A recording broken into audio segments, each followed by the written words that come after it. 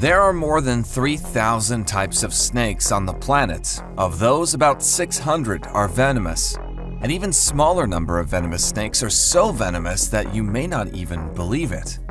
However, what might some of the most venomous snakes in the world be and what makes them so dangerous? Is it the amount of venom, the potency of the venom, or both? In this video, we're going to take a closer look at just a few of the snakes considered to be the most venomous in the world.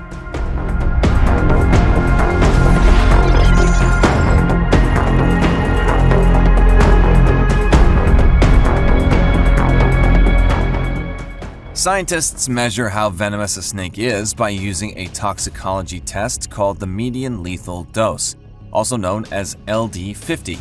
The smaller the number, the more venomous the snake. By applying this scale, we can determine what the most venomous snakes in the world are. Whether it be the huge amount of venom injected or the absolutely dangerous potency levels. Let's start with the fer de lance. The name fer de lance means spearhead in French, a common name given to the variety of snakes from the genus Bothrops, a group of snakes also known as pit vipers. It is the most dangerous snake of Central and South America and causes more human deaths than any other American reptile. Reaching lengths of 8 feet and weighing an average of 10 to 13 pounds, this snake exists in many populated regions, which is likely why it has so many bites to its name. On average, a fer de lance injects 105 milligrams of venom in one bite, although a venom yield of up to 310 milligrams has been recorded while milking them. The fatal dose for a human is 50 milligrams. Like other pit vipers, Bothrops species have two indentations or pits behind and above the nostrils, which can detect a rise or drop in temperature of just 0.001 degrees centigrade, allowing it to detect warm-blooded mammals. These pits, coupled with its tongue to taste the air, allow the fer de lance to strike with great accuracy even in total darkness. Bothrops species are able to climb and swim. Their natural habitat is forest, but it is often found on plantations and in run-down houses, as it can find a ready supply of rats and mice there. This unfortunately brings it into contact with humans, it will usually flee if disturbed, but can also defend itself vigorously, striking as soon as an enemy is within reach. Now let's take a look at the king cobra. No one would argue that the king cobra is among the most venomous snakes in the world, and for good reason.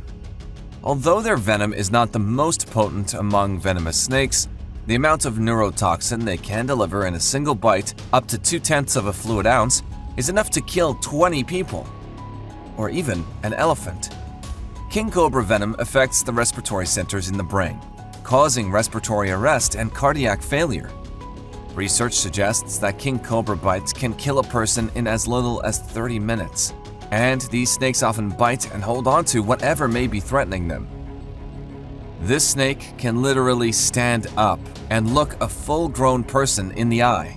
When confronted, they can lift up to a third of its body off the ground and still move forward to attack. King cobras can reach 18 feet in length, making them the longest of all venomous snakes. King cobras live mainly in the rainforests and plains of India, southern China, and Southeast Asia, and their coloring can vary greatly from region to region. This species feeds mainly on other snakes, venomous and non-venomous. They will also eat lizards, eggs, and small mammals. They are the only snakes in the world that build nests for their eggs, which they guard ferociously until the hatchlings emerge. Next, we are going to take a look at the boomslang.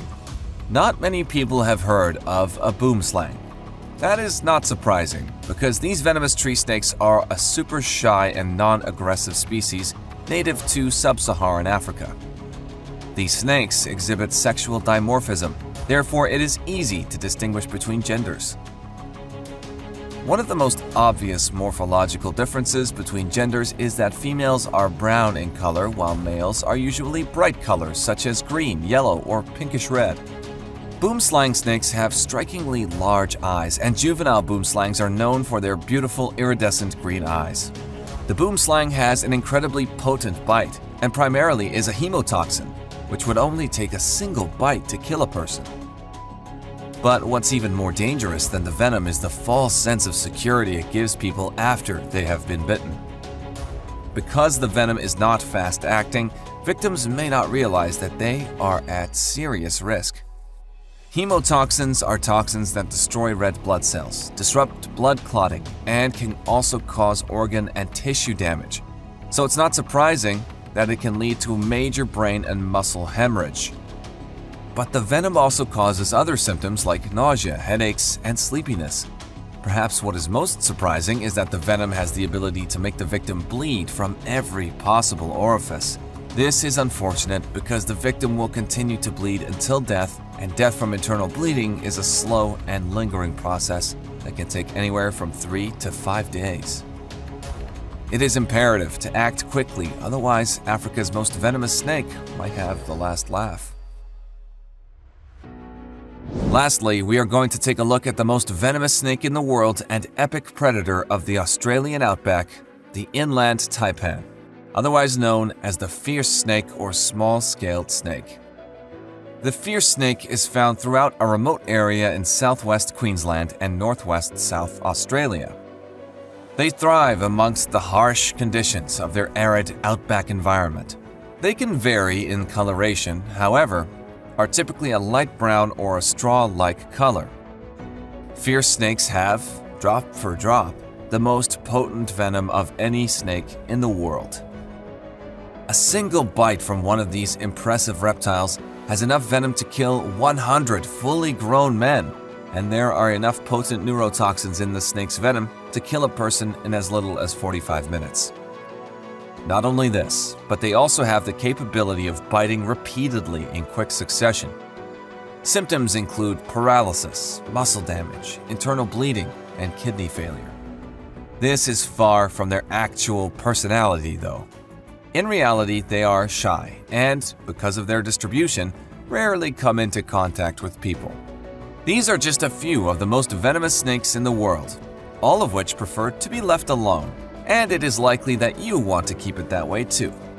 What do you think of these lethal creatures? Let us know in the comments and please like this video if you've enjoyed it. If you want to see more videos like this one, then subscribe to Brain Impact for more. Thanks for watching.